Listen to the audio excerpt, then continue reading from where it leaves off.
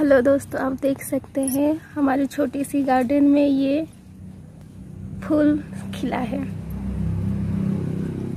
इसका कलर भी अच्छा है, लेकिन इस फूल का नाम क्या है, मुझे तो पता नहीं। अगर आपको पता है तो कमेंट बॉक्स में ज़रूर लिखिएगा। देखिए, कितने सारे फूल खिले हैं। आप देख सकते हैं, इसका कलर भी बहुत ही अच्छा है।